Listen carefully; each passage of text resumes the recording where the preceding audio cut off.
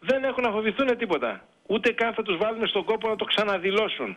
Το Υπουργείο Οικονομικό θα πάρει τα δεδομένα που ήδη έχει από τις φορολογικές δηλώσεις, τα αυτοκίνητα, τα σπίτια, Τα θα αυτοκίνητα, συμπληρώσουμε- Υπουργέ, τα αυτοκίνητα που, Ακούστε με, τα- ακούστε με. τα αυτοκίνητα Θα που έχεις καταθέσει συμπληρώσουμε πινακίδες μία δεν φόρμα. φαίνονται πλέον στη φορολογική θα δήλωση. συμπληρώσουμε μία Γι' φόρμα αυτό είναι η οποία λεπτό. θα τη στείλουμε στο, θα την αναρτήσουμε στη σελίδα του κυρίου Παπαδάκη και θα πει ο κύριος Παπαδάκης να τροποποιήσει μέσα στη φόρμα αυτή όποια περιουσιακά στοιχεία έχουν πιθανά αλλάξει και να προσθέσει περιουσιακά στοιχεία που δεν έχουμε. Δηλαδή, καταθέσεις στο εξωτερικό, ακίνητα στο εξωτερικό ή άλλα περιουσιακά στοιχεία τα οποία δεν Η τα έχει το σύνταξη Υπουργείο και ο Οικονομικών. μισθός θα μπαίνει στο περιουσιολόγιο εφόσον, προσέξτε με, ο μισθός μου φορολογείται στην πηγή. Εγώ φορολογώ, πληρώνω φόρο μισθωτών Όχι, ο υπηρεσιών. μισθός σας δεν θα μπαίνει κύριε Παπαδάκη, Δεν γιατί θα ήδη μπαίνει ο το ξέρουμε μισθός. το μισθό. Ούτε ο μισθός ούτε η σύνταξη.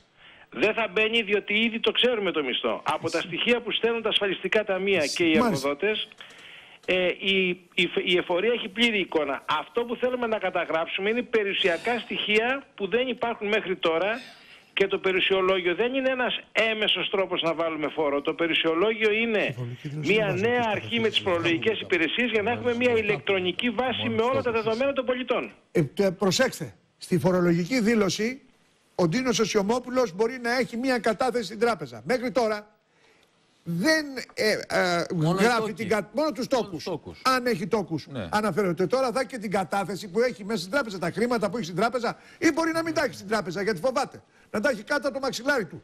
Νομίμως αποκτηθέντα χρήματα σας λέω εγώ. Ναι. Δηλαδή Για να μην αντί να τα έχει ταλαιπωρήσουμε στην τον κύριο τράπεζα... Σιωμόπουλο, Ορίστε. θα- για να μην ταλαιπωρήσουμε τον κύριο Σιωμόπουλο, Ναι.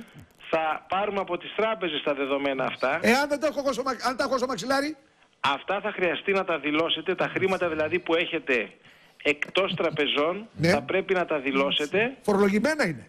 Μα, μα το να τα δηλώσετε δεν σημαίνει ότι θα ξαναφορολογηθούν. το Αυτό είπαμε σας πριν ρωτάω. αυτό. Δηλαδή αν εγώ αποδείξω, κοιτάξτε να δείτε, στο πόθεν έσχες. Πω λοιπόν ότι εγώ τα χρήματα τα οποία μου περισσεύανε πριν από το capital control που τα έπαιρνα μετρητά, αντί να τα πηγαίνω στην τράπεζα, τα βάζα στο σεντούκι. Καλός ή κακός τα βάζα στο σεντούκι. Υπάρχει μια μεγάλη κατηγορία και μάλιστα άνθρωποι μεγαλύτερης ηλικίας.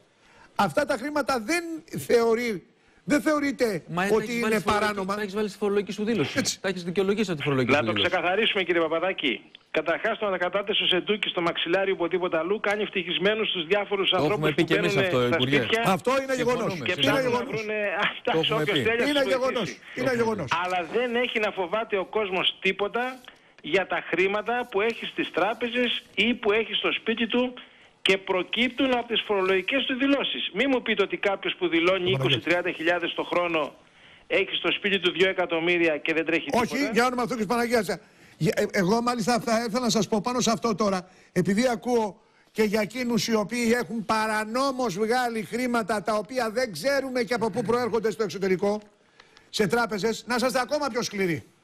Γιατί εσείς και εγώ κύριε Υπουργέ, δηλώναμε τα εισοδήματά μας και ξέρετε πολύ καλά ποια είναι τα εισοδήματα τα δικά σας, τα δικά μου φαίνονται. Γιατί τα δηλώνει και ο εργοδότης μου, έτσι. Και εγώ να τα θέλω να κρύψω μου τα δηλώνει ο εργοδότης μου. Κάποιος ο οποίος μπορεί να έχει πάρει μίζα, κάποιος ο οποίος μπορεί να έχει κάνει εμπόριο ναρκωτικών, λαθρεμπόριο, εμπόριο λευκής σαρκός και έχει βγάλει ένα κάρο χρήματα και με ένα βαλιτσάκι τα βγάζει έξω. 20 χρόνια. Έτσι. Ή τα έβγαλε μέσω των τραπεζών που δεν φροντίζανε να τα μπλοκάρουν, όπως γίνεται τα τελευταία χρόνια, σε μια τράπεζα του εξωτερικού. Σε αυτό πάτε το όλα. Εδώ κύριε Παπαδάκη τα πράγματα είναι απλά. Δίνουμε μια τελευταία ευκαιρία με νομοσχέδιο που έρχεται σε πολύ σύντομο χρονικό διάστημα να δηλωθούν όλα αυτά τα περιουσιακά στοιχεία και να νομιμοποιηθούν. Αν επιλέξουν όλοι αυτοί οι οποίοι έχουν αυτά τα εισοδήματα εδώ ή στο εξωτερικό και δεν δικαιολογούνται τις φορολογικές τους δηλώσεις, αν επιλέξουν να τα κρύψουν, οποτεδήποτε και οπουδήποτε εντοπιστούν θα δεσμευτούν υπέρ του ελληνικού δημοσίου και θα ξεκινήσει ο αντίστοιχος φορολογικός έλεγχος. Υπουργέ, καλημέρα. Ο Παναγιώτης ο Παντελής είμαι. Να Καλημέρα ρωτήσω, κύριε Παντελή. να ρωτήσω το εξής. Αυτό το τελευταίο το οποίο είπατε. Με τι συντελεστή θα φορολογηθούν αυτά τα χρήματα; Θα πάμε στους συντελεστές της κάθε χρονιάς; Πώς θα δηλώνεται η χρονιά; Ή θα πάμε σε ένα flat συντελεστή ο οποίος θα ισχύει για όλους; Αυτό το λέω γιατί θα είναι τα προεόρτια, να το Μάλιστα. πω έτσι, με το Για να απαντήσει. περιουσιολόγιο. Γιατί τώρα από τον Γιατί έχουμε. άκουγε Αυτά πολλά. είναι, αυτά είναι θέματα τα οποία συζητάμε αυτή την περίοδο στα τεχνικά κλιμάκια, διότι έχουμε την υπευθυνότητα πριν βγάλουμε κάτι στη δημοσιότητα ή πριν το καταθέσουμε στη Βουλή, να το συζητάμε με τα τεχνικά κλιμάκια και να μην έχουμε αυτό που έγινε πριν από κάποιους μήνες να αναρτηθεί ένα νομοσχέδιο το οποίο δεν έχει συζητηθεί στα τεχνικά κλιμάκια και τελικά αποσύρθηκε.